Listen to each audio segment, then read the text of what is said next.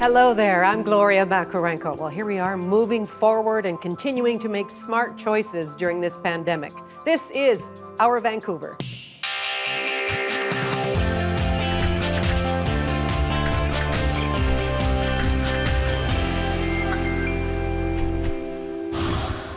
Coming up, lessons about love and language while shopping for our elderly parents. And a Kelowna teen uses her home time to create a cookbook for kids. But first, legendary artist Robert Davidson talks about the award winning documentary about his life and work. You're watching an excerpt of Haida Modern. The documentary about the life and work of artist Robert Davidson is going to be aired on Knowledge Network June 2nd, and it'll be streamed online too. Now, the film has won numerous awards already, and its message is pretty timely considering the COVID 19 pandemic. Robert Davidson is connecting to us today from his home. Robert, hello. What a pleasure to speak with you today. Hi, Gloria. Glad to be here. So it's interesting that this film was made well before the pandemic hit. But how would you say it, it, speaks to our need to, you know, slow down, remember to respect nature? Yeah, actually, that thought has been in my mind for a long time. Um, uh, some of the paintings I've done, for example, uh, I did a painting, I think, um, around the late 80s, 1980s, uh, called Hugging the World. And another one, re- most recent, is uh, What Will Be Left for Our Grandchildren.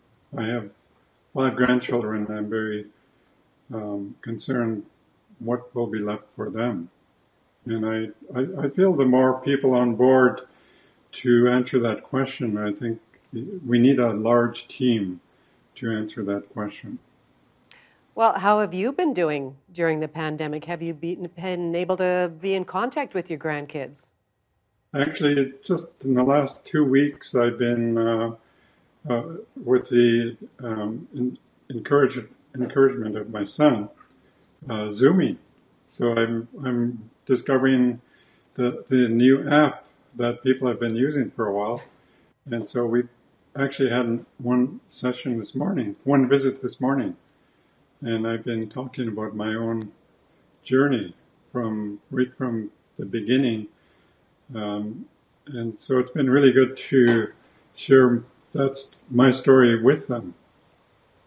Oh, that is lovely. And I know that just this uh, downtime has provided us with a lot of opportunities. So you're saying you took it back to the beginning. Why don't you take us back to the beginning? What, what got you interested in art and making art in the first place? It was actually my dad, my dad, my father, who started me off. Um, I remember, um, like he was continually pushing myself, my brother Rich, and my sister to be self-sufficient. And with his encouragement, he he got on me when I was about 13 to um, start carving in argillite because he was, uh, I think, about two years prior to that, he was carving, and my grandfather was doing the same.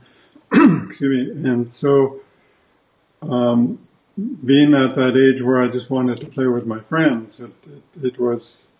But once I started to carve and and work with my dad and my grandfather, I really enjoyed it. It, it almost felt like a deja vu. It felt like I'd been there before.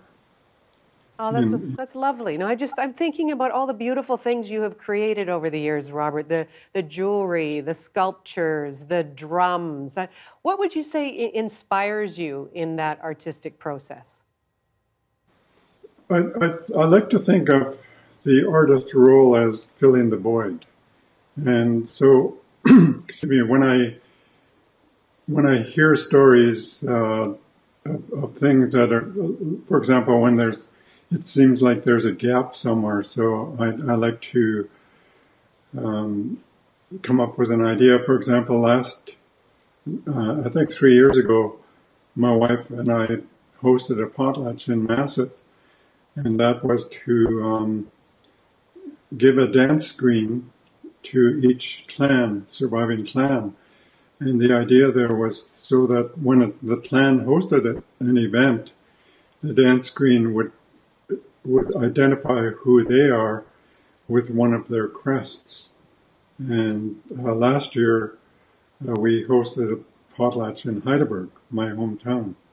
And, and, that's what I mean by filling the void. It, it's events, it, it's situations like that that inspire me. And also looking at how, how we treat nature. Like, like I don't, I don't think there's much respect there. So I feel we need to, this pandemic is really nature pushing the pause button. And, and what, an, what a brilliant idea. I hate to say it like that. Well, I think about this documentary, and uh, it really is a celebration of you and, and your work. Has a lot of high profile people talking about just how much your work has influenced them and, and made them think, made them appreciate your views. How does it feel to be on the other end of all of that praise and hear all these people telling you how wonderful you've been? well, it's uh, certainly a far, far reach from when I first started. I remember when I came to Vancouver, uh, there were only four places where I could sell my my argillite carvings, and, and we were labeled curios then. And it took a few years, a few decades before we were recognized as an art form. And, and I'm very excited that that, that process actually started. Uh, I think the major show was at the Vancouver Art Gallery, uh, their exhibition called Art of the Raven, Arts of the Raven, and that showcased all the the uh, the old masters of Northwest Coast art in one place, and and and things started to continually expand from there. And so when I, excuse me, when I when I was learning, I was actually learning from the old masters, and the old masters they laid the foundation. And so, and I like to think of the art form like the alphabet. And so once I learned the alphabet, then I was able to um, expand on it, expand my understanding of the art form. Robert Davidson, A to Z. Okay. Uh, so, what have you been working on these days as you're close to home? I'm working on a totem pole right now. It's a commission through the Doug Reynolds Gallery. It's a 22 foot totem pole, and the the log is quite large. It's it's five feet at the butt, at the base, and it's the client is from Romania, and the title of the totem pole is Beyond Being Silenced. It's a it's a uh, variation of another totem pole I did about 15 years ago called We Were Once Silenced, and and this the client said do do what you always wanted to do. And I was excited about the about his parameters, which was wide open. Well, I'm glad you've been busy. I look forward to seeing the documentary. Robert, uh, such a pleasure. Thank you very much. Yeah, thank you very much too. Good to meet. Good to talk with you. Hi, I'm Barb. And Mike from New York, and you're watching our Vancouver. Well, it's time for one of our favorite features when we get to showcase a number of the photographs sent in by you, our audience. And this week, we feature images from the walks people have been taking. First, Nikki Byers was out on the Richmond Dike and saw this wonderful patch of flowers in full bloom. A stunning burst of color there. Thank you so much, Nikki.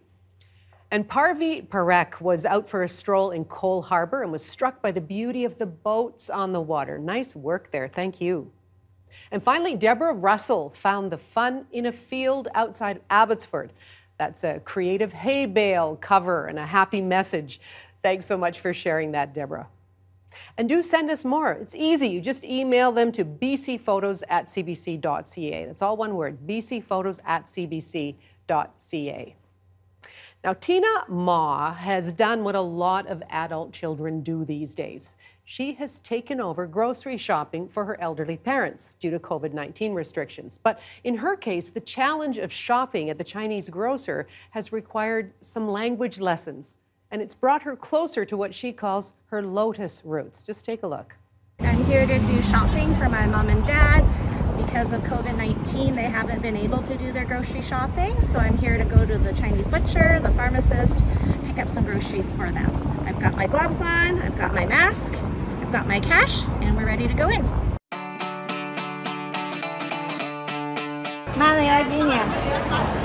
This one? Here at the Richmond Public Market. Um, uh, the reason why I've come to like coming here, it feels like I'm really immersed um, in the Chinese language when I come here because it's a predominantly Chinese market.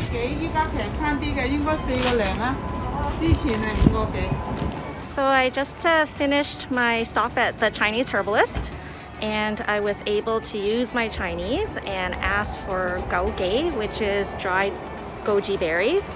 My mom uses these in Chinese broths. And um, I got to practice my Chinese and learn a new word. And uh, I feel proud of myself for doing that.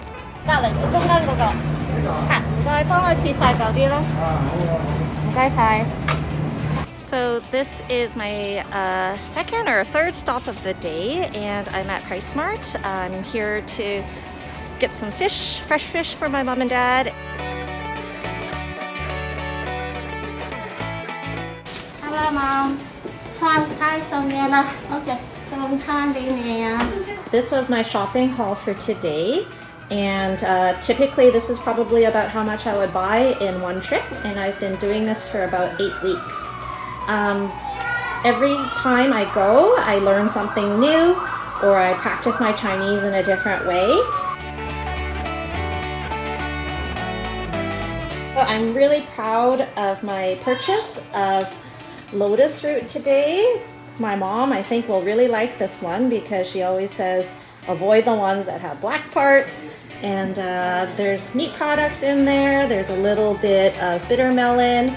I like being able to get them a few treats as well because it's hard being at home and I feel like uh, this can bring a bit of happiness to them. So over the last eight weeks uh, during uh, COVID-19 restrictions, um, I've learned a lot about my mom and dad and my culture as well. I have challenged myself to speak more Chinese when I'm outside of the home with different shopkeepers. Finally, um, I've just learned how to choose good fresh food myself. So um, I know how to pick a good lotus root now. I know what a good price is for lobak and um, I think that I've been able to share in something that my parents care deeply for and just continue to appreciate each other and just acknowledge that food brings us together. Coming up, planting new skills and the promise of affordable food for those in need during the pandemic.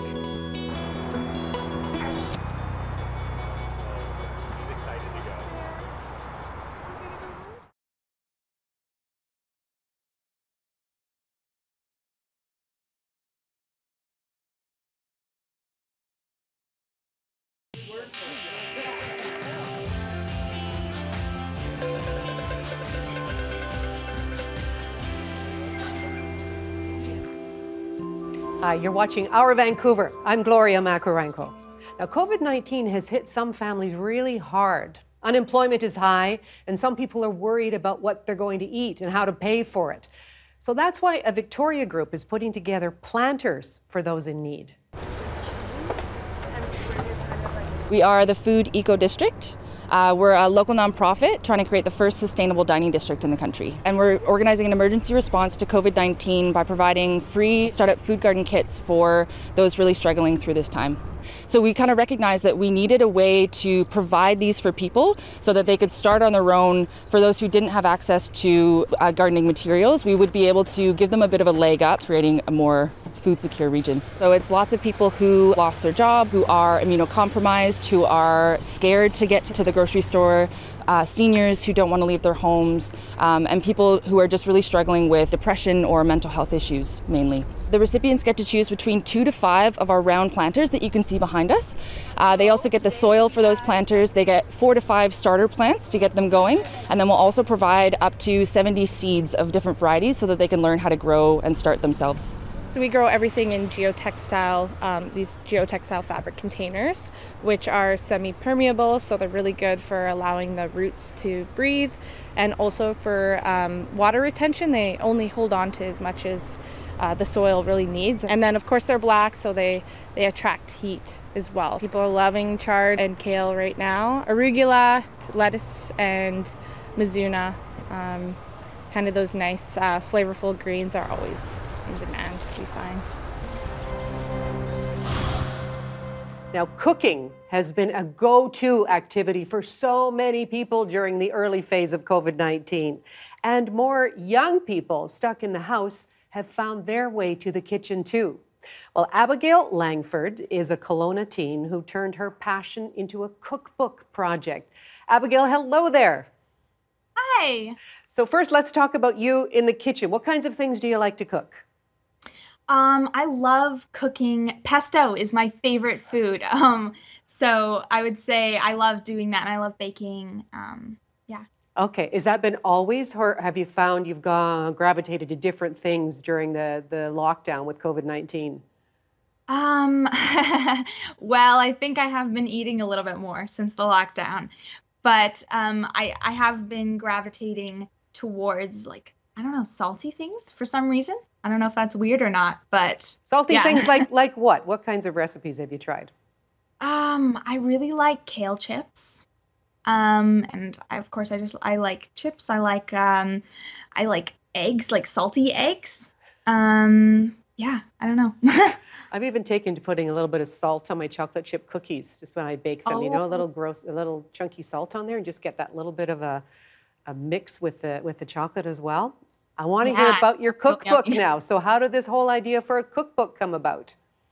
Um, well, we all, um, me and my four co- co-authors, we met at a master, like a mastermind group where our families met up, and so we hung out and we started cooking for the adults, and we made them lots of things involving coffee because our reasoning was, um, what's one thing that parents love? Coffee. Um, and so we made them lots of that. And one of the um, parents, she came to us and she said, Why don't you guys make a cookbook? We all laughed it off. And then um, we got a deal. That's great. Well, let me tell me about some of the coffee dishes that you created or desserts. we made um, coffee chocolate pancakes um, and then just coffee chocolate. And then I think we made like coffee covered something. okay, but it stuck. It hit a chord, obviously, with the adults. So, I mean, there are a lot of cookbooks out there right now. Uh, what do you think sets your cookbook apart? Um, this cookbook is first of all 100% written by kids, which in and of itself is is just an incredible thing. Like nothing else out there is like that. But also, it's incredibly allergy friendly. Um, out of the 100 recipes, 80 of them are allergy friendly, gluten free. And um, we also have a substituting for allergies recipe at the beginning of the book. And then besides that, we have like a meal planning chapter and a chapter on how to properly and safely use knives, but not just like simple things like paring knives, but bigger like chef knives. And um, I guess the entire the idea of the book is that it's not um, we're showing that kids can do more than people think they can. so, what kinds of things were you learning along the way as you put together this book? I learned so much. I think the thing that I learned the most was communication, or just like to properly communicate with people, um, and um, not to uh, promise things that I'm not going to deliver on. I I also learned a lot of stuff in the kitchen, just like um, I learned knife techniques. I learned um, not to deep fry things, um, and some some other really helpful tips. So overall, it was a great experience. So, how do you hope that this book is ultimately going to be used? I hope kids around the world can use this book to um, not necessarily like just pursue um, careers or something, but but really learn how to um, love the kitchen and not hate and not like be scared of it, not be afraid of what's behind the cabinets, really understand it and be familiar with it. And um, I'm hoping that it also encourages people that um, that that healthy eating is not just just like kale or just, you know, eating greens or something. Like it can be really delicious. And creative. Well, you're inspiring, Abigail. Thanks very much for telling us about your project. Yeah, thank you for having me. Bonjour, je m'appelle Nathalie. Vous regardez notre Vancouver. Live concerts and entertainment events have been canceled during COVID 19, but there are many virtual ways you can experience art and culture in our city. Graduates of VCC's jewelry program usually host an exhibit and sale at this time of year. Well, that has now moved to a window shopping model at the Craft Council of BC's Granville Island location. You can also see the work on Facebook on the VCC Jewelry Art and Design page. And the NFB has put so much more of their collection online, including Vancouver director Christina Willing's short film, Beauty Beyond Binary. It follows the lives of five gender creative kids and what it means for them to be truly human. Just go to the NFB webpage to see that and so much more. Hey, I'm Grant Lawrence from CBC Music coming to you from home. So, over the past few weeks, I've shared with you some of the best of quarantunes, songs and videos that professional Canadian musicians are making from home. But what about music students? Kids that abruptly had their choirs and music classes canceled. What is a music class to do in the age of COVID 19? We'll check it out. That's all I've got to say.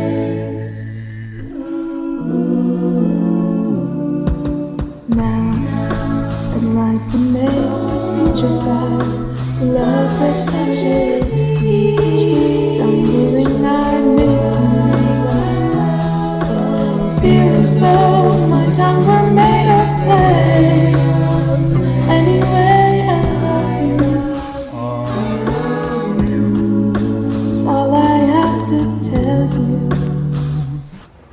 That is Enter a Cappella, a contemporary choir from Sir William Mulock Secondary from Newmarket, Ontario, performing a beautiful version of the Jimmy Webb song, That's All I've Got to Say. And that's a school that has done very well in our Canadian Music Class Challenge, CBC's yearly fall initiative where we ask music classes to learn a Canadian song and send us the video. Here's another of last year's participants keeping their lessons alive in the COVID era.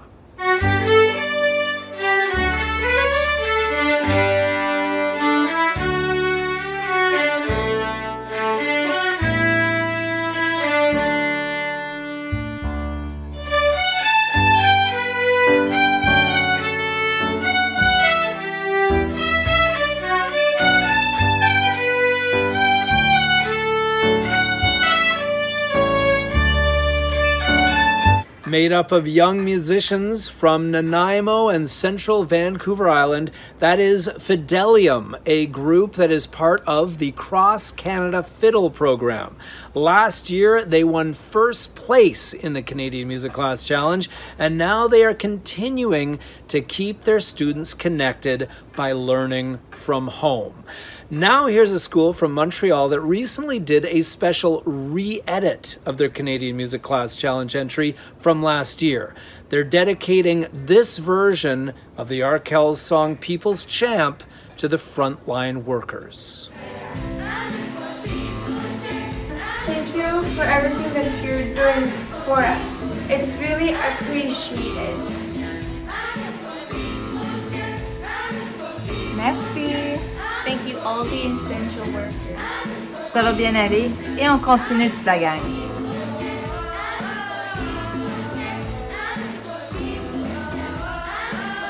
Thank you. What can you say? That's beautiful.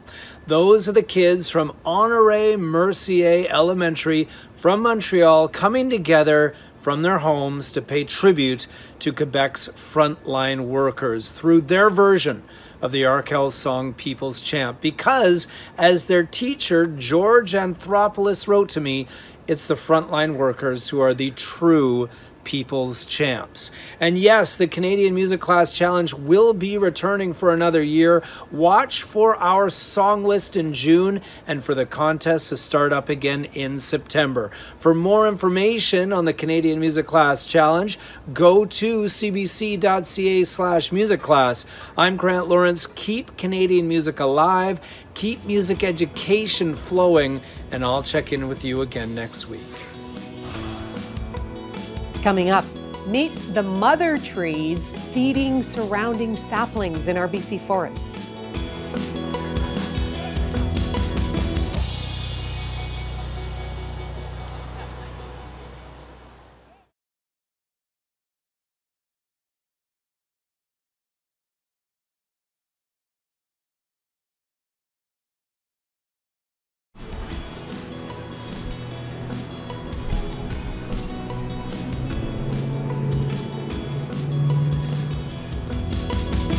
Hi, welcome back to Our Vancouver. I'm Gloria Macarenko. Now, many of you may be spending more time in the forest these days. The trees really speak to those who seek nature, and it turns out those trees are also communicating with each other, with a mother tree in charge. UBC has been researching this phenomenon. Here's some fungal networks right here. Look at that. Wow. That's the big internet. So I started looking at below ground ecosystems and discovered that there's this internet of mycorrhizal fungi, which are fungi that are mutually beneficial to the trees and the fungi, and they actually can connect the trees together and serve as highways for movement of information and resources and water from tree to tree. We went on to map what this fungal highway or network looked like underground, and we found that the most highly connected trees were the biggest, oldest trees. We even went on to find out that they can recognize which seedlings are their own, their, their kin. So this led us to start calling them mother trees because of all the things that they do in the forest. And the idea of that is try to project, using this experiment, um, how retention of old trees will become more important as climate stresses our forests. And we're actually finding in our early results that um, in the seedlings that we've planted under the forest, that the more old trees that we retain in harsher climates, the better off the seedlings are doing. So this is an example of a clear cut. This is actually one of our experimental clear cuts. It's about five hectares in size, so it's, it's a small one compared to what's done in operations, um, but this is typical.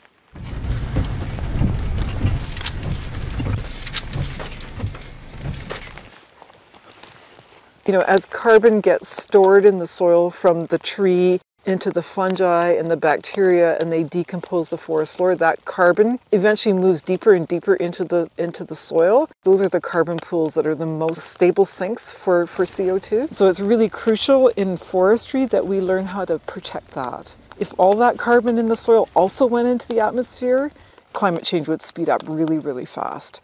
And so forest practices really need to strive to protect that and what we think is that partial re retaining these mother trees, partial retention of the trees on the forest actually helps keep it in there. You know, the engineers, for example, are trying to figure out ways how to how to capture carbon and store it below ground using all this fancy technology, but here these trees they do it. Right? They've evolved for millions of years to, to do this through photosynthesis. It's the most ingenious, you know, highly specialized mechanism already there's a recognition that clear cutting isn't, you know, the best thing everywhere. Foresters know this. So we have many industrial partners who are looking at alternatives. They want to know how to do a better job. You know, as climate change is really affecting more and more people and we're recognizing that we've got to do something now, um, that I think that this is going to be adopted at a much faster rate in, in the very near future. We're coming, it's coming, the time is now, and people are ready for it. Now, 2020 was supposed to be a big year for Tonye Aganaba. After 12 years performing in Vancouver, the soul and R&B singer had finally been booked for the Vancouver Jazz Fest. But you know the rest. In the middle of March, everything changed. Tanya did connect with Stephen Quinn on the early edition and played a wonderful song. It's good morning to you. Good morning to you. How are you today? I'm very well. How are you holding up? I'm holding up just great. I'm one of the blessed lucky ones that was able to access CERB. And uh, as much as some people think it's a trip to think about that, as a as a gigging musician, having two thousand dollars of guaranteed income a month is kind of like a raise. yeah, well, that's kind of sad when you think about it. It's really sad, but this is an opportunity to look at all of the ways that our system is sad and um, think of new ways to approach them. And what has life been like for you over the past few months? Um, well, I have um, a disease called MS, which is um, a neuro neurological disease that is degenerative mm-hmm. in nature, and so there's been a lot of um, obviously COVID nineteen has been really stressful, but for folks that have underlying conditions or that have um, other illnesses that they're dealing with, um, it's an, a time of hyper hyper vigilance. So um, yeah, I've just been I don't I really hesitate to use the word lockdown because that's not what we're living through but I myself have been under pretty extreme uh, you know um, I would say more than social distancing just really keeping away from from um, folks in an effort to try and keep myself safe and also keep them safe. It's interesting because I, I know a few people who are immunocompromised, and you know you can't tell obviously by looking at them, but you know they're just staying home through all of this. They're not going anywhere because they're so vulnerable. Yeah, I can't remember the last time I went to a grocery store or went to visit anything other than the corner store. That's my one. Once a week, I go to the corner store. uh, and and do you have somebody helping you out then? I am very lucky to be in a beautiful relationship with uh, my husband who lives with me. And that's mm-hmm. one of the things that's been a trip is that he's still working. So that's part of why um, I've had to be extra, extra, extra careful because he has to go out into the world every day. Yeah, well, um, and and has to be careful to make sure not to bring anything home. Oh, I make sure about that. um, you go a little set up by the door. I'm like, don't bring any of your crap inside. Just drop your clothes there and hose down. Exactly. Um, we know what this year has been like for artists and for musicians. I mean, there you were scheduled to play the Vancouver Jazz Festival. Um, what did that performance mean to you? Um, everything. I mean, as a mm-hmm. musician that's lived here, I'm not from here, but I've lived here for the last 12 years. And mm-hmm. once, it, you know, they always say as an artist, like your hometown is the last place to like big you up or put you on. so I've been waiting so long for this Jazz Fest show. And uh, a couple years ago, I played Montreal Jazz Fest, and I was like, okay, so Montreal says yes, and Vancouver says no. So for me, this was just like sweet, sweet, sweet uh not vindication but you know what i mean yeah. and um for it to um but i realized that like i mean who cares the music industry is nonsense but you also had you were lined up to play the burnaby roots and blues festival as well i can't even the oh, amount no, of I know. yeah the amount of things that aren't happening anymore is um wild but i see it as an opportunity honestly I am really passionate about lots of things, not just music. And this has given me such a gift of time. Whenever does the universe say, shut up and read books? Whenever not often the, enough. Yeah, the universe never says, hey, if you don't want to be on social media, now is a good time to just take a step back from that. Like we are being given so much opportunity and permission to step into our real selves in this moment. And I'm choosing to utilize that. Well, you are going to play a song for our live radio audience this morning, so lots of people listening who will appreciate it. Hopefully, they um, like it.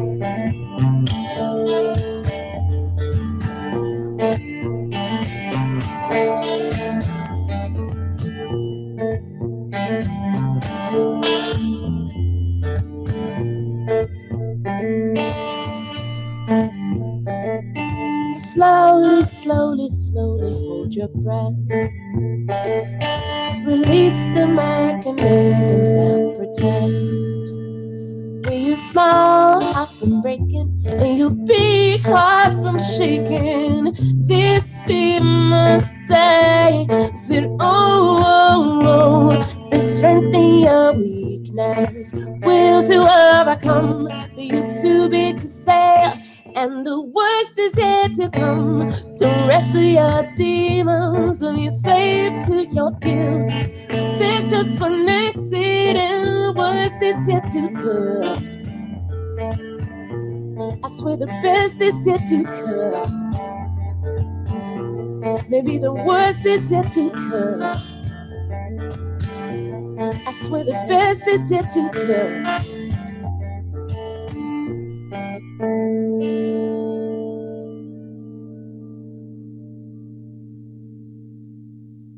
Tonye Aganaba, thank you so much. Your guitar sounds so amazing. What are you Thank playing? you. I am playing a rip-off Epison S- Epiphone SG. Thank you, Tom Lee. Remember when we used to go to Tom Lee Music Oh yeah, back in the before time. back in the before time? Yeah, thank you very much. Hi, my name is Elena. My name is Vishesh, and, this this, is is our our Vancouver.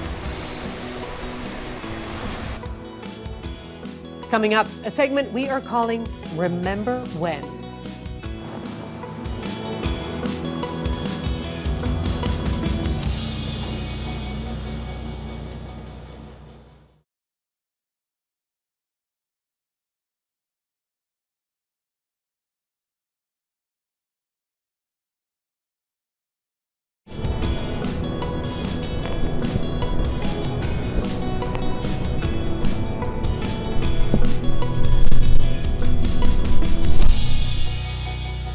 Are watching Our Vancouver. I'm Gloria Macarenko. Now, the COVID 19 pandemic has cut car traffic greatly. So, we've seen animals and birds take back spaces in the absence of people. And the question is will people and politicians use this as a way to, you know, refocus on the environment? Well, while we wonder about that, here's a story from 1992 and a group of environmentalist teenagers on Galiano Island. Eve Savory reintroduces us to them. That, say these children, is the sound of rain falling softly in the rainforest, a forest that is threatened. Poverty and the destruction of the forests in South America are very closely connected. They are 12 to 13 years old and they are raising money to go to the United Nations Conference on Environment and Development, UNCED, in Rio de Janeiro next month. We want to act as the conscience of decision makers and remind them who they're making the decision for. They call themselves ECO, the Environmental Children's Organization. They need $21,000 to take themselves and a chaperone. Money is our one problem, but we're determined to go to bring a message of our own. Have you been helping? They've had book sales and bake sales, and they've done phenomenally well. Tonight, with the help of an enthusiastic audience, ECO raised $4,600. How much have you just how much have you just given them? 600 and this is and five, 1100. All they need is another 4,000. And Raffi will pay the money we don't raise. But They've published a newsletter for the last two years. They've raised money for the rainforest, but Rio is their biggest project ever. So the next thing is visas, and I'll give um, each of you one of these. Well, I've got one, but I filled it out. But I don't know where to send it and everything. Okay. No, If all goes as planned, they will get to make a very brief speech. Four minutes each, or No, no, four minutes for the whole thing. Isn't that short? So what we have to work on this weekend is making our message really concise and clear. So They are convinced children have a special contribution to make. And I think we interact a lot with the environment. Children do. We go down to the beach, we go to the park, and in our everyday lives. So when you look at that and you think that maybe one day I won't be able to go down to the beach, or maybe one day I won't be able to go to the park, then that sort of hits me, and I, I'm thinking that's not fair. Do you ever get mad at adults? very bad. Sometimes we just get really, really angry. It's just, why don't they think of us? That's why we want to be there to act as a conscious conscience and reminder that look what you're doing. What you're doing now is what you are doing to our future. They're in a sense creating our future. These children from across the country are 10 to 15 years old and they won an essay contest about the environment. Now one of them will be chosen to go to Rio. But why children? Because we have something to say. Children are two fifths of the world's population, and it seems grossly unfair to me that two fifths of the world's population should have no voice. So we feel that urgency, right? Because we know our future's at stake, and that's the urgency that we have to bring to Earth Summit discussions. The kids' role model, Desiree McGraw. She is Canadian and one of only two youth ambassadors to UNCED from around the world. And Rio is truly going to be, I hope, a turning point in history. McGraw wants the um, politicians in Rio to know that problems of alcohol and drug use and suicide in young people is because they don't believe they have a future. If governments are sitting there negotiating and they see young people who are listening and who are watching and who are speaking their minds, it does make it much more difficult for them to get away with doing nothing. How you doing, Big M? How you doing? Okay. This group call themselves Wheels of Change, six young people who wanted to go to Rio and then decided there was another way. They'll spend their summer biking through BC trying to raise awareness about environment and development oh. issues. You made it. Not again. Come on. I think it's pretty contradictory to go somewhere else and say, I can't believe you all are doing this when you turn around and look at our own country and see what's happening. Somebody come into the center and offer a shape. Again, everything is going to have to do with social issues. They're being trained here in interactive theater techniques to get people thinking about what is wrong in their community. We're going to tell them about the Earth Summit and we're going to tell them what's happening and work in a context so that when their leaders come back that they can say we demand change. In other times, Vietnam for example, youth has been on the outside of adult decision making, but they had influence. Now they are demanding admission, demanding their voices be heard. We do not have a credibility gap. We aren't politicians. We're not in this for the money. We're in this because we want a place, a planet that is hospitable for us and for our children to grow up in. We realize that this is it. There will not be another chance to save this planet. There is one theme they all echo. In this, the voice of youth must be heard and heeded. It is, after all, their world. For News Magazine, this is Eve Savory, Galiano Island, BC. So you've decided to wear a reusable mask, but how to do it safely. First, wash your hands.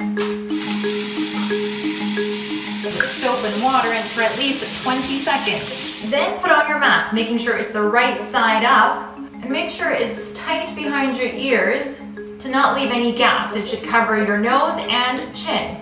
Some masks have a nose fitting. If yours does, make sure to bend it so it fits even tighter. If you wear glasses, it's even more important that the mask fits securely over your nose. That will help prevent your glasses from fogging up, which can be very annoying. Here are some other tricks. Pull the mask up and use the weight of your glasses to block the air, but also make sure that the mask still covers your chin. You can also use soap and water. The soap leaves behind a film that acts as a fog barrier. And once you have your mask on, do not touch your face or the mask. When you're ready to take off your mask, first wash your hands again, then remove the mask from the back, trying to not touch the front of it. Then you want to wash your mask. If it's a cloth or reusable one, you can just throw it in the washing machine.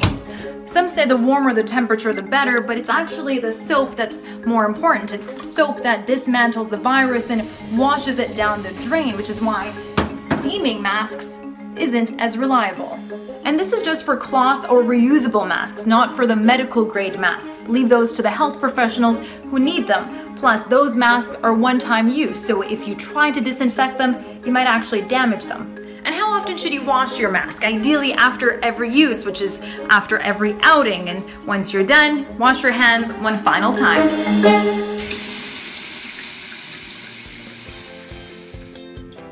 CBC Vancouver is so lucky to have two award-winning still image photographers on staff.